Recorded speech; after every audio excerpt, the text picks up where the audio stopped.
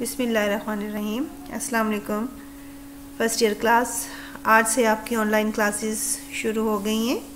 जैसा कि आपको पता है कि गवर्नमेंट ने आपको छुट्टियाँ दी हैं।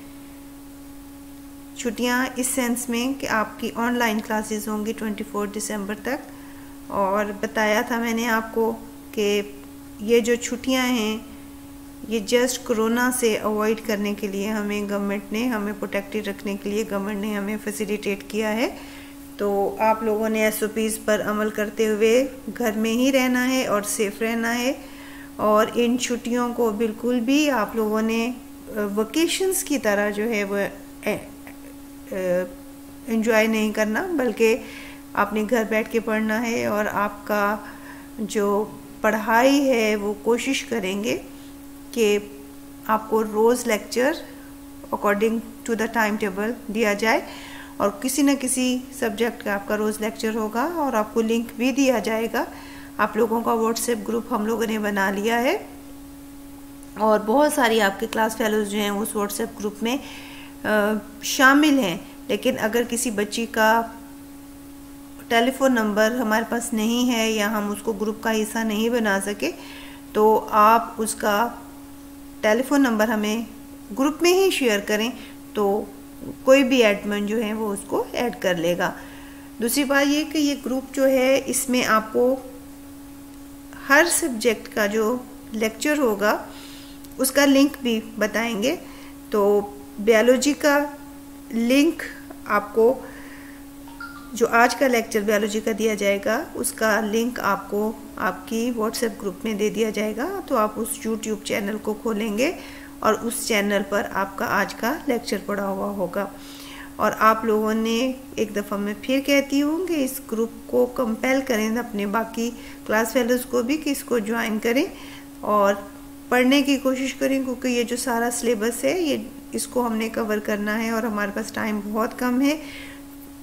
पता है आप लोगों को कि हमारे पास टाइम बहुत कम है तो इसलिए जो है हम कोई भी लेक्चर जो है, उसको अगर once we will deliver that on the net और on the YouTube then we will not repeat it again in the classroom so be careful और रोज़ लेक्चर लें। अगर आपको लेक्चर में कोई मुश्किल पेश आती है, इंशाल्लाह कोशिश तो करेंगे कि आपको कोई मुश्किल पेश ना आए, लेकिन फिर भी अगर आपको कोई मुश्किल पेश आती है तो आप व्हाट्सएप ग्रुप में अपने क्वेश्चन को छोड़ें।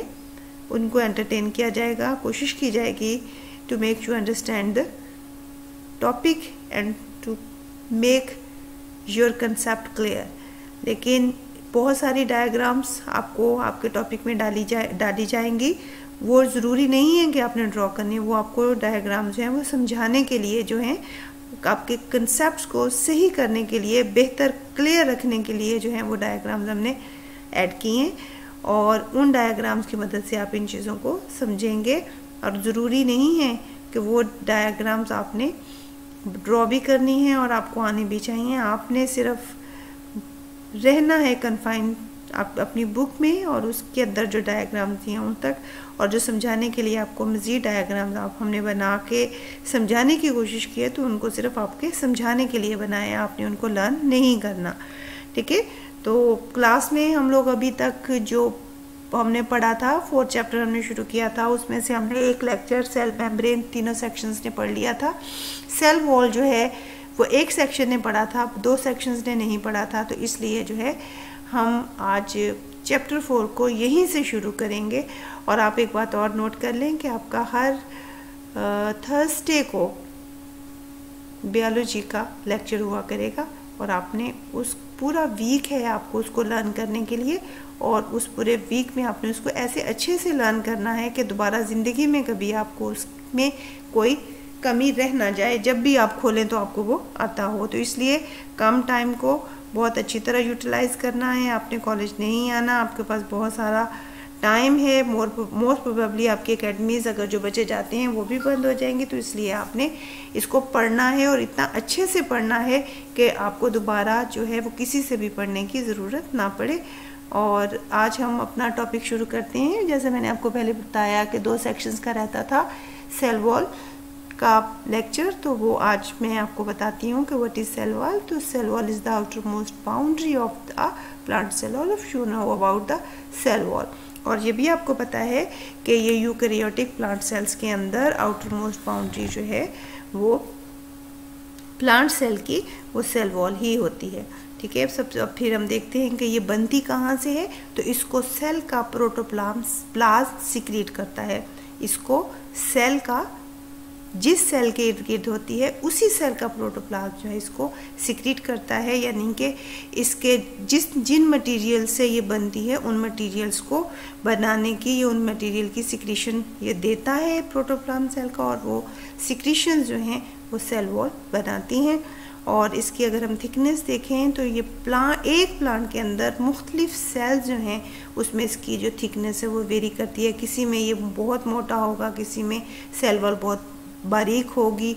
तो ये डिपेंड करता है सेल की फ़ंक्शन के ऊपर कि प्लांट का सेल का क्या फ़ंक्शन है और उस, उसके फ़ंक्शन के हिसाब से उसकी सेल वॉल की थिकनेस होगी। अगर हम देखें कि इसका स्ट्रक्चर क्या है तो इसका स्ट्रक्चर ये है कि ये कंपोज होता है तीन मेन लेयर से। ठीक है? प्राइमरी वॉल है सेकेंडरी वॉल है और मिडल लमीला है। और इसको आपने अच्छे से देख लेना है कि प्राइमरी ताकि आपको बिल्कुल पता चले कि प्राइमरी कहाँ है, ये देखें। ये बिल्कुल बाहर जो है this one is the primary wall ठीक है?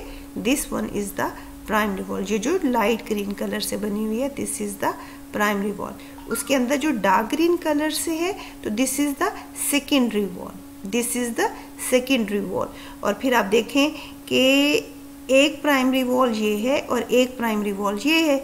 दो प्राइमरी वॉल्स के बीच में भी एक वॉल है। उस वॉल को कहते हैं हम मिडल लेमिला उसको हम क्या कहते हैं?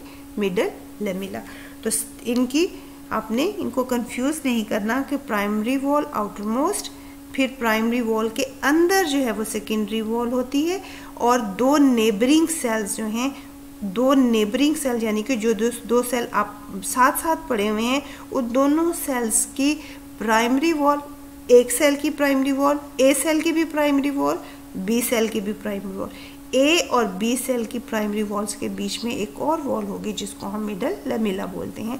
तो ये आपको इस डायग्राम से अच्छी तरह पता चल रहा है कि this one is the primary wall this one is the secondary wall और इसका जो एडसन सेल है, उसकी ये लाइट ग्रीन प्राइमरी वॉल उसकी लाइट ग्रीन प्राइमरी वॉल इस सेल की और उसके बीच में ये जो लाइन है this is the middle lamella ठीक है?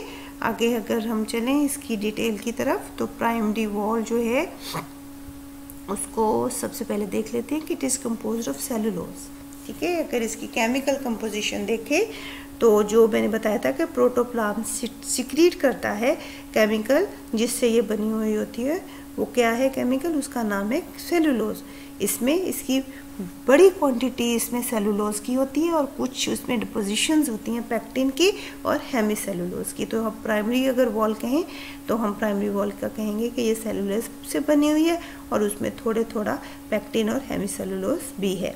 सेलुलोज जो है, वो उसकी क्रिस क्रॉस अरेंजमेंट है। ये आपको अगर मैं नीचे वाले इसमें डायग्राम में दिखा दूँ तो ये देखें, ये प्राइमरी वॉल है। ये, इसमें देखें, ये ये क्रिस क्रॉस अरेंजमेंट है।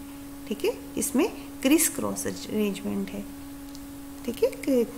ये अगर आप देख लें, ये आपको क्रिस क्रॉस अरेंजमेंट ये आपको नज़र आ रही है। ठीक है? आगे चलते हैं हम वापस। ठीक है? सेलुलोज मॉलिक्यूल जो है, वो क्रिस क्रॉस अरेंजमेंट में अरेंज होते हैं और प्राइमरी वॉल जो है, वो ये ट्रू वॉल है। और जो नया सेल ग्रो होता है, उसमें सबसे पहले जो वॉल बनती है, वो प्राइमरी वॉल ही बनती है। उसके बाद यहाँ पर भी अगर आप देख लें तो आपको ये सारी प्राइमरी वॉल बन दिखाई गई है। ये नीचे ये प्लाज्मा मेम्ब्रेन है, ठीक है? ये प्लाज्मा मेम्ब्रेन है, ये सारी प्राइमरी वॉल है और उसके ऊपर कोई मिडल एमिला की बात जो हम कर रहे थे, ठीक है? तो इसमें जो है वो सेकेंडरी वॉल नहीं दिखाई हुई, ठीक है? तो प्राइमरी वॉल में अगर आप देखें तो ये सेलुलोज के माइक्रोफिब्रिल है। ये देखें क्रिस क्रॉस अरेंजमेंट और उसके बाद ये हेमी सेलुलोज है और ये जो इसको स्ट्रेंथन कर रही है वो पैक्टिन है। ठीक है? आगे चले जाएँ। तो सेकेंडरी वॉल जो है, ये इनर सरफेस पे बनती है प्राइमरी वॉल के। मैंने आपको पहले भी दिखाया है, ये देखें। ये प्राइमरी वॉल और प्राइमरी वॉल के अंदर ये सेकेंडरी वॉल बनी हुई है। ठीक है? तो ये कहाँ पड़ी हुई है? ये प्राइमरी वॉल के अंदर बनती है। ठीक है और ये मोटी भी ज़्यादा होती है, देखें आप, और ये रिजिड भी ज़्यादा होती है। ये देखें, प्राइमरी कितनी पतली सी है और ये सेकेंडरी कितनी मोटी है है ना? तो प्राइमरी जो है, उससे ये मोटी भी ज़्यादा होती है और ये सख्त भी ज़्यादा होती है, रिजिड भी ज़्यादा होती है। और केमिकली अगर हम देखें तो ये किस किस चीज़ से बनी हुई होती है? अगर इसमें रिजिडिटी ज़्यादा है तो इसकी केमिकल कंपोजिशन भी डिफरेंट होगी, कि इसमें क्या क्या चीज़ें हैं। वो हैं साल्ट्स हैं सिलिका है वैक्सीज हैं क्यूटिन है, और लिग्निन वगैरह जो हैं, इसको सख्त बनाती हैं। तो ये प्राइमरी वॉल से ज़्यादा रिजिड है और ज़्यादा मोटी है। वो तो हमने देख ही लिया, वो तो हमें देखने में ही पता चलता है। हुँ? उसके बाद आते हैं तो मिडल एमिला पे तो मिडल एमिला जो है वो प्राइमरी वॉल जो है नेबरिंग सेल की, उनके दरमियान में बनता है। ये आपको मैंने डायग्राम में ही बता दिया। इसके फ़ंक्शंस क्या हैं? सबसे पहले तो ये प्लांट सेल को रिजिडिटी देता है, ठीक है? बहुत से प्लांट सेल जो है, वो रिजिड उसका स्ट्रक्चर है, सख्त है वो। किसकी वजह से? सेल वॉल की वजह से। डेफिनेटली शेप देता है। आउटर मोस्ट बाउंड्री है तो डेफिनेटली एक्ट करेगा एक बैरियर के तौर पर। हर मटेरियल को इसमें से गुजरना पड़ेगा। अब हमने, ये तो हमने देखा यूकैरियोटिक सेल का, सेल वॉल। इसके अलावा प्रोकैरियोट्स में भी सेल वॉल होती है और फंगस में भी सेल वॉल होती है, लेकिन वो इन यूकैरियोटिक प्लांट सेल की सेल वॉल से मुख्तलिफ़ होती है। जैसे प्रोकैरियोट्स की सेल वॉल में सेलुलोज से नहीं बनी हुई होती। बल्कि वो पेप्टिडोग्लाइकेन से बनी हुई होती है और एक स्पेसिफिक उसकी जो है वो अरेंजमेंट होती है पेप्टिडोग्लाइकेन की। ठीक है? और इसको म्यूरिन भी बोलते हैं। आगे चलें तो सेल वॉल जो फंगस की है, वो एक और मटेरियल से बनी हुई होती है, जिसको के काइटन कहते हैं। ये वही काइटन जो हमने इंसेक्ट्स के एक्जोस्केलेटन में देखा था। ठीक है? तो ये जो है it is all about the cell wall इसमें आप लोग इसको एक आपका अब एग्ज़ाम में इसमें से आपके पास ये पूरा एक टॉपिक चार नंबर का आ सकता है। इसमें से आपसे शॉर्ट आंसर्स भी पूछा आंसर दो दो नंबर के जो होते हैं आपके क्वेश्चंस जो होते हैं, जिनका आंसर शॉर्ट लिखना होता है आपने, वो भी इसमें से कोई भी आ सकता है। और जो है इसमें एम भी बनते हैं, ठीक है? स्पेशली के प्राइमरी सेल वॉल किससे बनती है? सेकेंडरी वॉल किससे बनती है? मिडल एमिला कहाँ होता है? तो ये चीज़ें जो हैं वो आपने देखनी है और उसके बाद फिर आपने ये भी देखना है कि यूकैरियोटिक प्लांट सेल सेलुलो से बना हुआ होता है। प्रोकैरियोटिक सेल वॉल जो है वो पेप्टिडोग्लाइकेन की होती है और फंगल सेल वॉल जो है वो काइटन की बनी हुई होती है। तो इट इज़ ऑल अबाउट अगर इस लेक्चर के बारे में आपको कोई भी मुश्किल हो या आपने कोई सवाल पूछना हो तो आप प्लीज़ व्हाट्सएप ग्रुप में पूछें। इन आपको ज़रूर एंटरटेन किया जाएगा। और आज थोड़ा पड़ा है क्योंकि बहुत सारे बच्चे अभी हमारे ग्रुप का हिस्सा नहीं है तो कोशिश हमारी यही होगी कि मैक्सिमम बच्चे हम इस ग्रुप में डाल लें तो उन तक हमारा यूट्यूब का लिंक चला जाए। तो इन अगला लेक्चर आपको कम अज़ कम दो टॉपिक कवर करने की कोशिश करेंगे और आज का जानबूझकर आपका लेक्चर छोटा रखा गया है ताकि आप लोग जो हैं इसको अच्छे से फॉलो कर सकें और फिर ज़्यादा से ज़्यादा बच्चे जो हैं वो अगले हफ़्ते तक ऐड हो जाएँगे तो फिर आपको जो है वो आसानी रहेगी पढ़ने के लिए। और बस आज के लिए इतना। अल्लाह हाफिज़। Take care of yourself stay home stay safe